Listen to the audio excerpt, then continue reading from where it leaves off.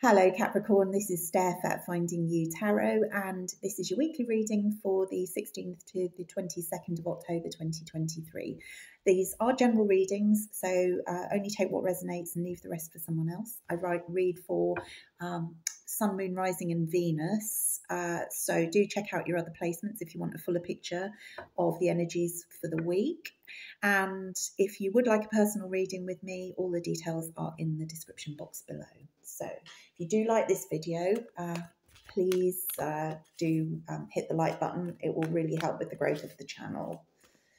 So let's have a look at Capricorn's energy. We've had a real sense of moving on, a letting go of emotional patterns that no longer serve with all of the readings. You're the last one I'm doing for this week.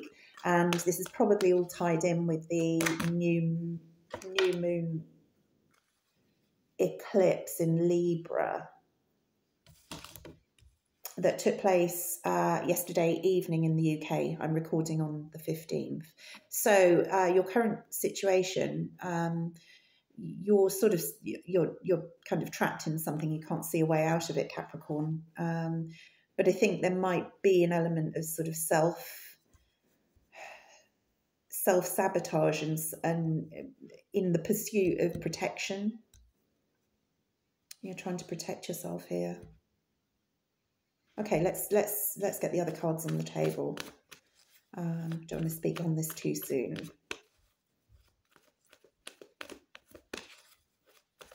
Let's see.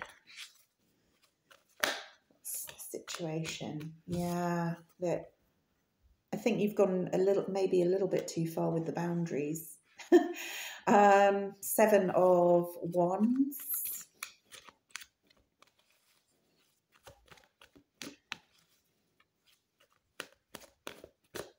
Although swords are cards of the mind, I'm being drawn to the water, um, the puddles at her feet. That there's some sort of, you know, emotional stuff that's keeping you stuck here, Capricorn. Okay.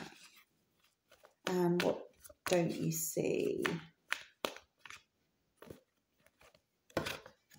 Mm, the fool, yeah, okay. I think you're sort of trapped.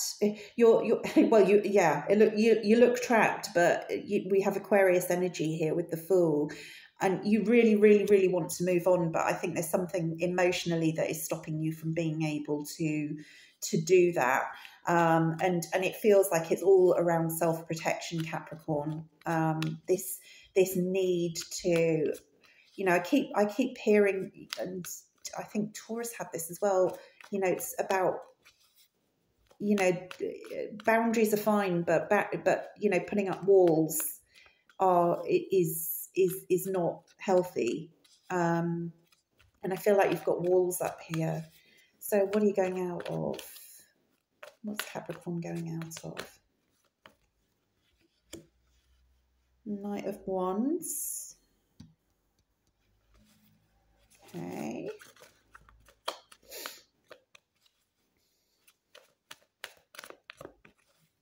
What are you going into? I'm, I'm not going to speak on that Knight of Wands until I'm just going to take um, an Oracle card when I've got all, everything else on the table. Ah, the world. Okay, great, beautiful. Okay, so you're going into, I think, a phase where um, a, an end of a cycle, which, you know, it, it could have been, and again, I think it was, was it Taurus? I was being asked to look back 18 years, which was the last time there was a, you know, solar eclipse in Libra or something. Um, to where you were 18 years ago. Um, but it feels like this is the completion of a cycle. I'm being very drawn to the fixed signs here of um, Aquarius, Scorpio, Taurus, and Leo. Um, it, it, it feels like something is is done, but it does require a leap of faith. And Spirit's advice is is actually to um, reach out. You know, the eight, the the eight of the eight of swords is a very solitary card, as is the seven of Wands. So I feel like you may be a bit isolated here, Capricorn. Let's just have a look at the what the Oracle, the wisdom of the Oracle has to say. Just one card for Capricorn. Poised.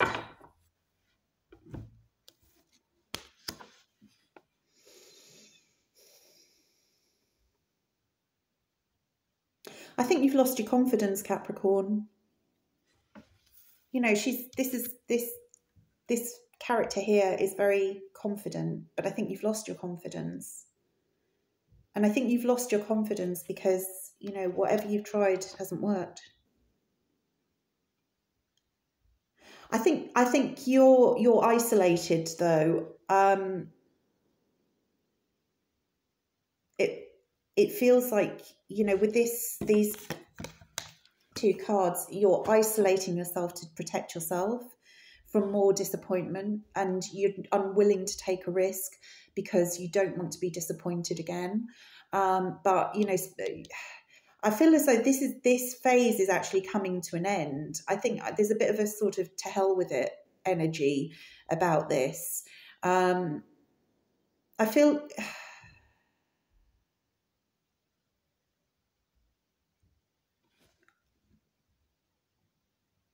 I almost I, I almost feel as though there's a sort of um, you know you've tried to pursue avenues that were passions for you but actually you're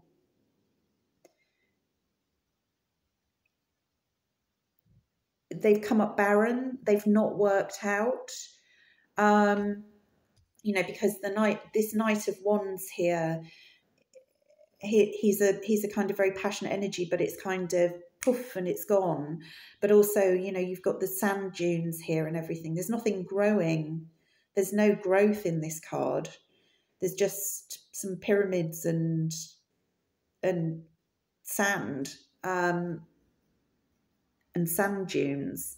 It's you know, and sand dunes are kind of they they don't last. You know, they'll eventually the sand just sort of drifts flat again. So it feels very much here as though as though you've been through a period of, of, of, kind of disappointment. Your reaction to that has been to close yourself off, to self, you know, to kind of keep yourself stuck focusing on the heartbreak of, of the disappointments that you felt, um, to, you know, sort of maybe tell yourself some stories about that are perhaps historic patterns of how you think about yourself that nothing ever works out. But it feels like very self-sabotagey stuff here.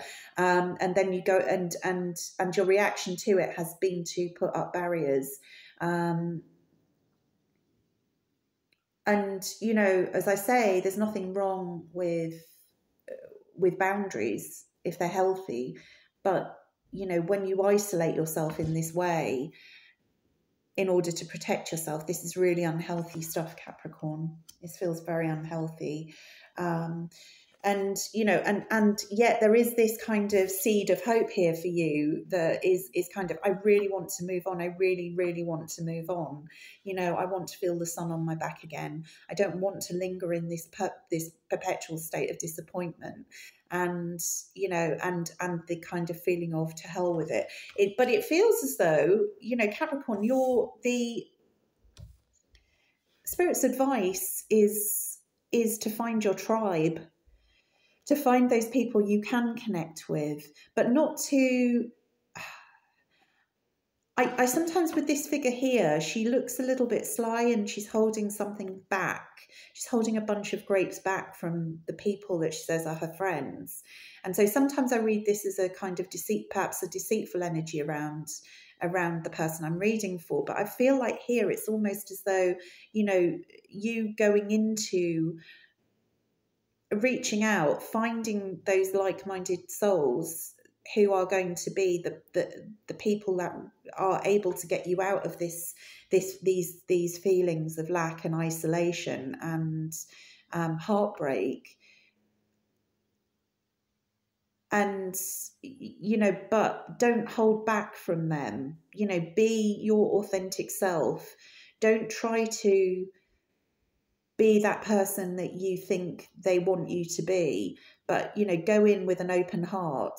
It feels like there's something here about you opening your heart and and and actually showing the world what you can do you know because i feel like you're maybe you know the, the, the difference here in the in